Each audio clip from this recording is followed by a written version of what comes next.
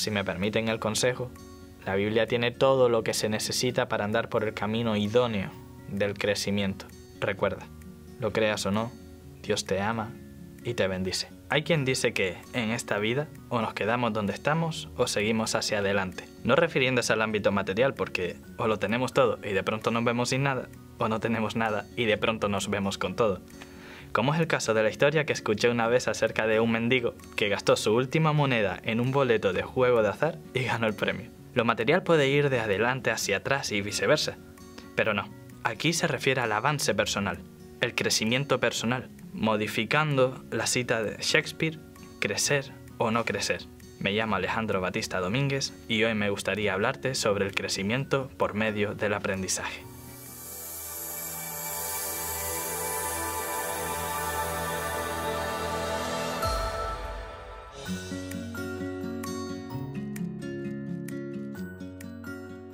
Nos es inevitable aprender.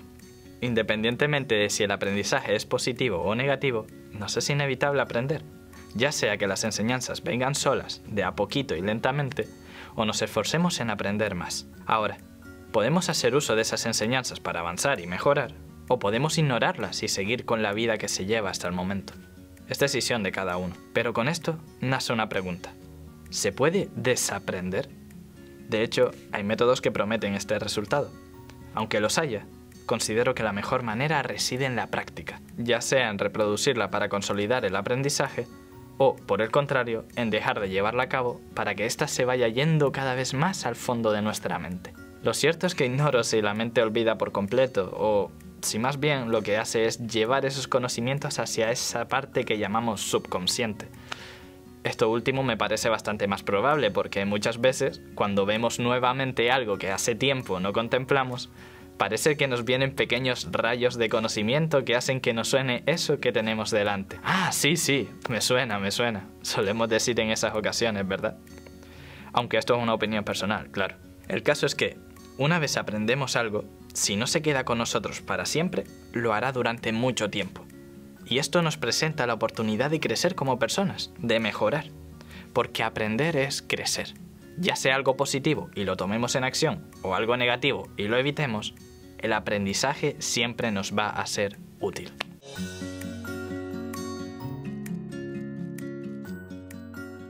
Si hay algo que caracteriza a los habitantes de este mundo, a las personas, entre otras cosas, es la imaginación que podemos llegar a tener. Queda demostrado en las muchas películas, series, dibujos, pinturas, modas e inventos que imaginación nos sobra. Dios nos ha dotado de esa gran capacidad, pero es curioso, porque éstas nunca sale de la nada. Siempre tienen un tipo, un primer diseño, en el que se inspira. En mi caso, por ejemplo, desde pequeñito siempre he tenido el sueño de volar y como solía dedicarme a dibujar, realizaba muchos diseños de vestimenta para cuando consiguiera la capacidad de volar. ¿En quién cree que me inspiraba para esos diseños? Pues en Superman, en Iron Man, en Linterna Verde, porque eran los tipos que volaban, que me inspiraron esa idea y que provocaban que me imaginara siendo lo mismo que ellos. Esto nunca se ha dado, claro, yo era un niño y ellos no son reales ni sus capacidades. Pero mira, ¿el ser humano puede volar? Pues sí, lo ha logrado tras estudios e intentos, investigaciones y diseños, ha alcanzado el objetivo de volar. Por medio de máquinas como los aviones o instrumentos como los parapentes o las alas delta, lo ha logrado. ¿Y de dónde sacaron las ideas? ¿Cómo se les ocurrieron los diseños de las alas? ¿En qué se fijaron? ¿Qué tuvieron que estudiar? Pues a la naturaleza. En este caso, a las aves y a los pájaros, ¿cierto? Pensemos un momento. ¿Qué serían de las películas de los aliens si no se hubiesen descubierto todos los diferentes tipos de animales terrestres, marinos y aéreos que los han inspirado. Por ejemplo, el pulpo ha ayudado mucho en esta área con sus tentáculos viscosos y sus pintorescos ojos. Y no solo en las de Aliens. ¿Se imaginan la saga de películas del Señor de los Anillos sin valles verdes o fondos de montañas nevadas o tétricas? Que va, no habría tenido el éxito que hoy tiene. ¿Qué serían de las pinturas sin los escenarios de bosques frondosos, lagos impetuosos, montañas escabrosas y cielos llenos de nube? ¿O en el mundo de la moda? ¿Qué sería de la colección de verano sin la maravillosa inspiración de las flores? ¿Un verano con trajes y bañadores sin estampados florales? ¿Se imaginan eso de verdad? Todo lo que hoy hemos llegado a alcanzar como raza, a construir, todo lo que hoy nos rodea, todo, es una reproducción de la naturaleza o tienen sus bases en ella. Una reproducción como las casas que hacemos y en las que vivimos, al igual que las aves, que construyen sus nidos, o que tienen sus bases en ella, como los coches que, en principio, no hay nada en la naturaleza que se le parezca, pero la idea de la rueda que dio pie a los coches sí que salió por medio del uso de la naturaleza, o incluso la potencia del motor, que se mide en caballos. Vivimos en un mundo maravilloso, lleno de abundancia en todos los sentidos. Es tan maravilloso que, a pesar de haber perdido mucho de su abundancia y riquezas a lo largo del tiempo, porque antes lo era mucho más, aún así lo sigue siendo en gran manera.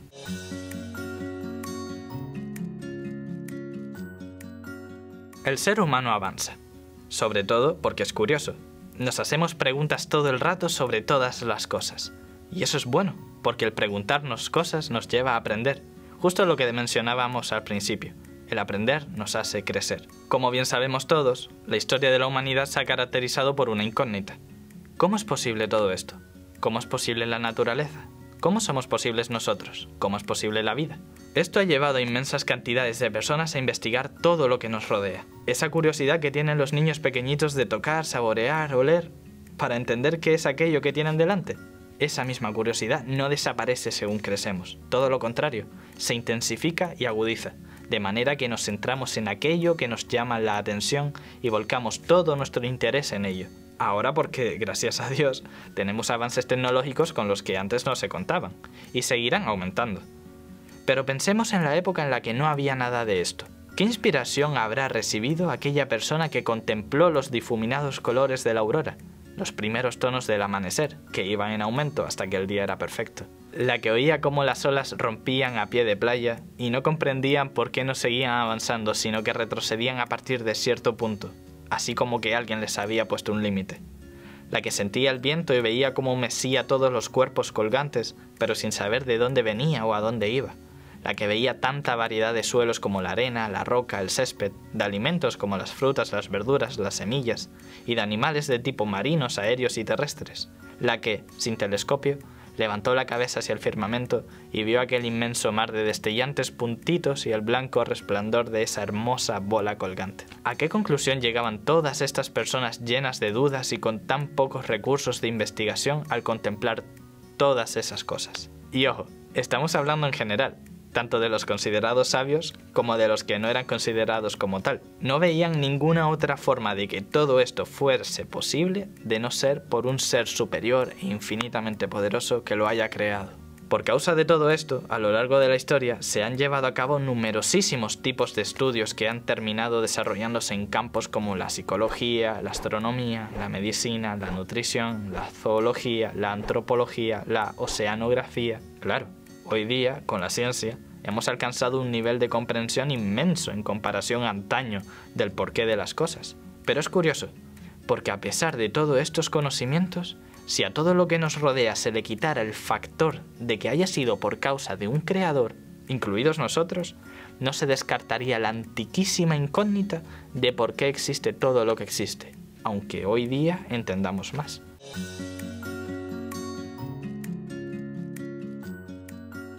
Cada uno debería de preguntarse a sí mismo qué es lo que cree. De hecho, considero que esto es inevitable. Realmente creo que todos sentimos curiosidad por saber la razón de la vida. De la misma manera me ha sucedido a mí, planteándome estas preguntas y, como resultado de ello, buscando respuestas. Ante la idea natural de que existe un ser superior, el cual todos conocemos como Dios, se me abrieron las puertas y me había traído hacia el estudio de la Biblia. Hoy puedo decir con certeza que si alguien quiere encontrar a Dios y entender qué es lo que enseña, no debe hacerlo por sus propios métodos, porque muchos han actuado de esta forma y el resultado ha sido en vano.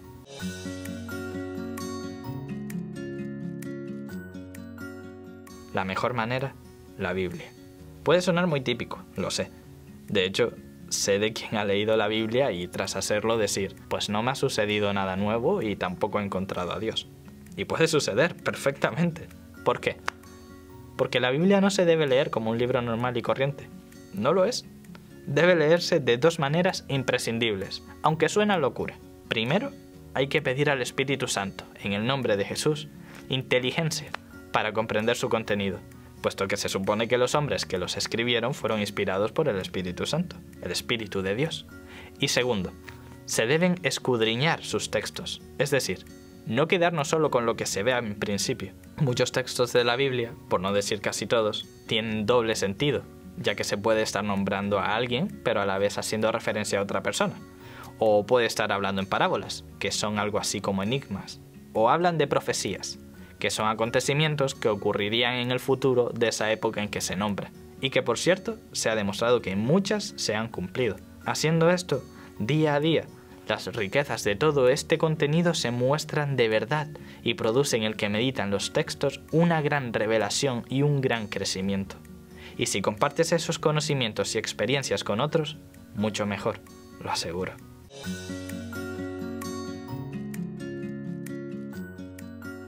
¿Qué es entonces lo que enseña la Biblia? Muchos dicen que la Biblia contiene las respuestas a todos nuestros problemas. ¿Es así? A ver, si vamos conduciendo con el coche y se nos pincha una rueda, en la Biblia no está escrito cómo cambiar una rueda, obviamente. No, no se trata de eso. La Biblia es una guía. Una guía que permite saber qué conviene y qué no, para que, tomando estos consejos, podamos vivir en este mundo de la forma más segura y con el regalo de la esperanza. De verdad que he visto cuán certeras y beneficiosas son dichas enseñanzas a la hora de aplicarlas. Desde las más conocidas como no robar, obedecer a tus padres, no mentir, hasta las de practicar la abnegación, el ser servicial, el ser agradecido, el no devolver mal por mal, el ser temperantes, entre muchas otras.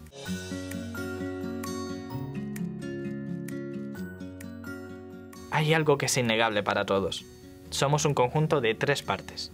Una parte física, una parte mental y una parte espiritual. Es así, somos así. La parte física, a la que más tenemos en cuenta. La tratamos de alimentar bien, hacemos ejercicio para estar en forma, la cuidamos para que tenga una buena apariencia. Luego, la parte mental, la comprensión de las cosas. De ella radica la forma en cómo vemos todo lo que acontece. Es influenciada por las enseñanzas que recibimos, ya sean buenas o malas, por las cosas que vemos, lo que oímos y lo que decimos. Y la parte espiritual. ¿Qué es esto? ¿Cómo se demuestra? ¿Cómo se trata? Lo curioso del espíritu es que ni se ve ni se toca. Es como el viento, invisible e intocable, pero se siente. Ahí está, siempre presente. De las tres, es la parte más importante para la salud, pero suele ser la que más abandonada y olvidada está. Es porque no se vuelca tiempo para cuidar de la espiritualidad, por lo que en los tiempos en los que vivimos hoy hay tanta dependencia emocional, tanto estrés y ansiedad, tanto materialismo, esa sensación de vacío el obtener algo, disfrutarlo por un poco de tiempo y luego ver que ha perdido todo el interés. Es porque se intenta llenar el vacío espiritual con lo que no se debe llenar, como lo dicho, el materialismo o incluso personas, que nunca se llega a estar satisfecho. Un cuadrado no entra donde va un triángulo. El espíritu debe alimentarse con lo espiritual.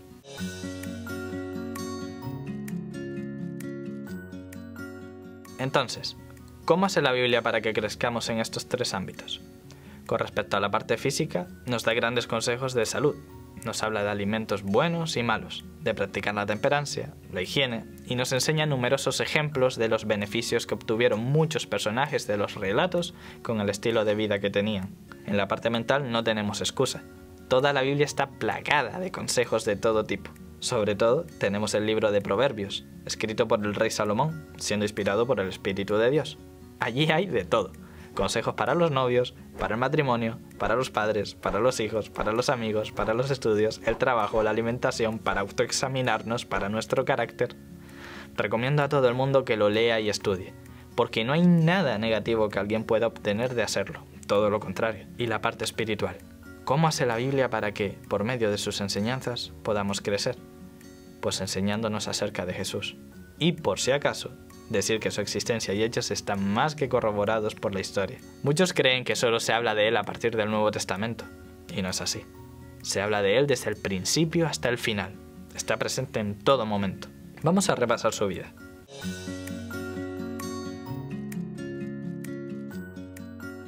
Poseedor y propietario de absolutamente todo lo que existe, reinando junto a su padre con poder y amor.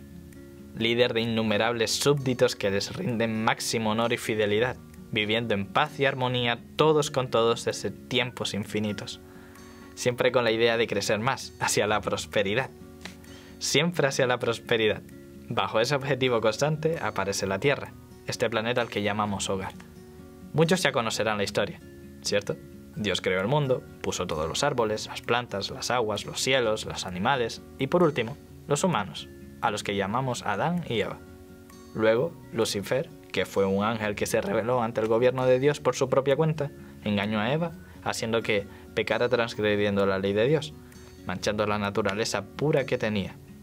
Adán, para no abandonar su compañera, decidió compartir con ella el castigo y también pecó dando como resultado que la población humana, la cual salió de ellos dos, heredaran su misma naturaleza ahora manchada. ¿Qué fue lo que sucedió realmente? Adán y Eva, antes de pecar, no tenían conocimiento ni inclinaciones del mal, solo del bien. Pero al pecar, también lo tuvieron del mal. Y esa fue la herencia genética que dieron a sus hijos, al mundo. No puedes hacer lo que no sabes hacer o lo que no está en ti. Por eso, el mundo de hoy día, en realidad, desde Adán y Eva hasta hoy día, hace el mal y el bien, porque poseemos ambos. Pero antes del pecado solo poseía el bien. Por eso antes todo era bueno. Un punto de vista muy importante es que Jesús siempre estuvo presente. Juan 1, versículos 1 al 3 dice, En el principio era el verbo, el verbo estaba con Dios y el verbo era Dios. Este estaba en el principio con Dios. Todas las cosas por medio de Él fueron hechas y sin Él nada de lo que hoy ha sido hecho fue hecho. Aquí nos está dejando claro que Jesús siempre ha estado al lado del Padre, desde el principio, creando y reinando. Estuvo en la realización de este mundo. Hizo todo lo que contiene, creó a todas las criaturas, contando a Adán, a Eva y a toda su descendencia, incluyéndonos a nosotros. Estuvo con ellos en todo momento. Les educó y los amó, al igual que hace con nosotros.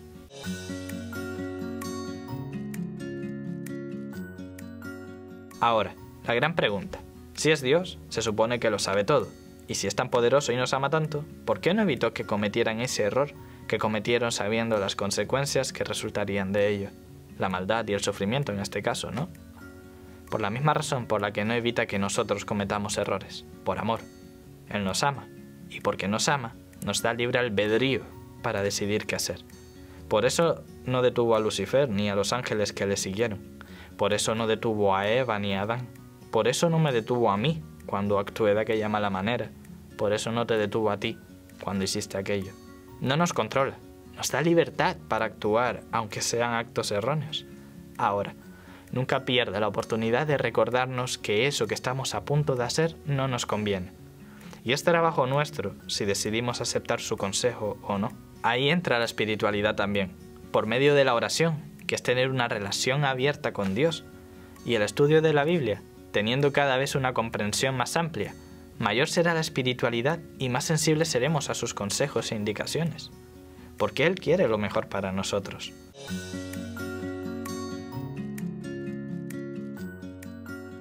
Tanto quiere lo mejor para nosotros que dejó todo lo que tenía, se despojó por voluntad propia de todas sus riquezas, dejó de usar su poder y se hizo semejante al hombre, compartiendo su naturaleza al tener la raza humana el pecado en su naturaleza, nunca podría volver a Dios por cuenta propia, porque Dios es todo lo contrario al pecado. Para el pecador, Dios es tan santo que es fuego consumidor. No sobreviviríamos ante su presencia. La única manera de poder hacerlo es quitando el pecado de nosotros. La única forma de hacer eso es por medio de un sacrificio. Seguro que os suena la frase el Cordero de Dios que quita el pecado del mundo. Antiguamente se hacían sacrificios con animales para limpiarse de los pecados, hasta que Jesús vino al mundo y se sacrificó hace casi dos mil años. Él acabó con esa horrible tradición. Después de su sacrificio en la cruz, como el Cordero de Dios, todo el mundo que acepte su muerte como medio de limpieza de los pecados será salvo ante los ojos del Padre, y el Padre lo recibirá en el juicio final y lo declarará inocente por medio de la sangre de Jesús. Jesús es la única manera de llegar al Padre. Ya lo dice Juan 14:6, yo soy el camino, la verdad y la vida. Nadie viene al Padre sino por mí.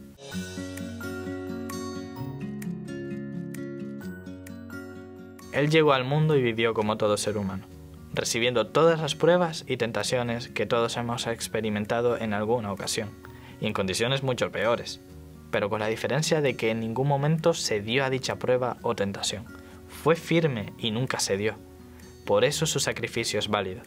Al vivir así, demostró que se puede vivir sin hacer el mal, y, de esa forma, como enseña Juan 3:16, creó el camino para que todo el que en él crea no se pierda, sino que ande por ese camino, le imite y alcance al Padre, alcance la vida eterna, una vida sin mal ninguno, tal como era al principio.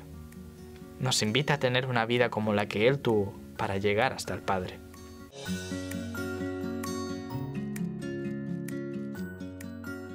Entonces, la manera para aceptar el sacrificio de Jesús. Primero, entender bien lo que vino a ser en el mundo, la manera en cómo lo hizo y por qué lo hizo.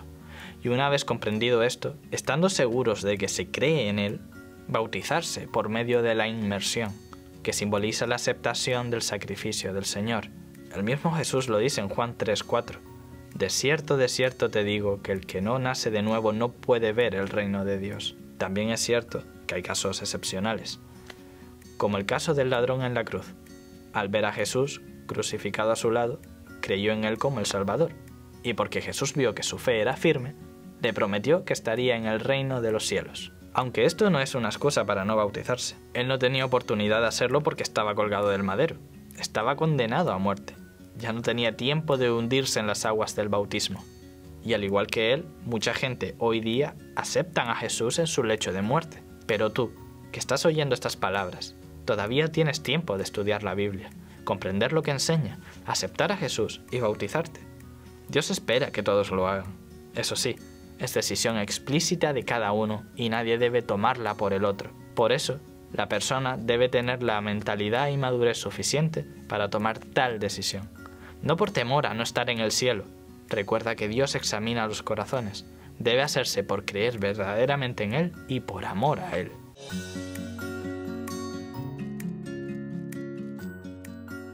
Porque entendemos que ya no dependemos de nosotros mismos para vivir en este mundo con todas sus cargas y sus preocupaciones, que ya son muchas. Al entender esto, vemos que el Rey de todo, el ser más poderoso que existe, el que está al control de todo, nos ama con locura, tanta que murió por nosotros y quiere que nos suceda lo mejor, que está esperando que le pidamos ayuda para aliviar nuestras cargas, como dice Mateo 11, 28. Venid a mí todos los que estéis trabajados y cargados, y yo os haré descansar, tanto física como mental y espiritualmente. Solo puedo hablar desde mi experiencia.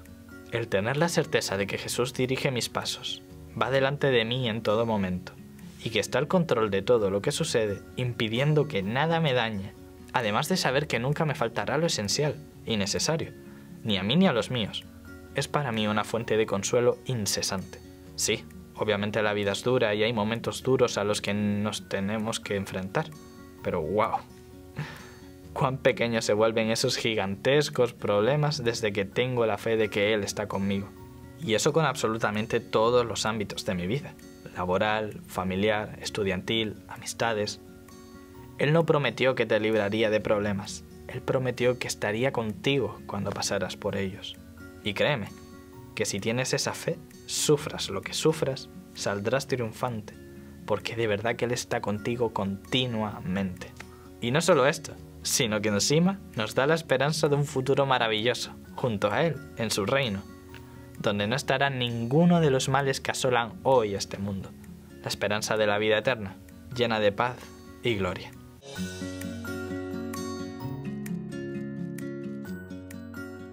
¿El mejor método para crecer? Pues aprender examinándolo todo y reteniendo lo bueno, como dice Primera de Tesalonicenses 5:21. Nunca vamos a dejar de aprender, y eso es increíble, porque significa que nunca vamos a dejar de crecer. Si me permiten el consejo, la Biblia tiene todo lo que se necesita para andar por el camino idóneo del crecimiento. ¿Pones en duda la Biblia? Yo te animo a que le des una oportunidad. El aprender no ocupa espacio Muchas de las promesas y profecías escritas en ellas se han cumplido certeramente a lo largo de la historia.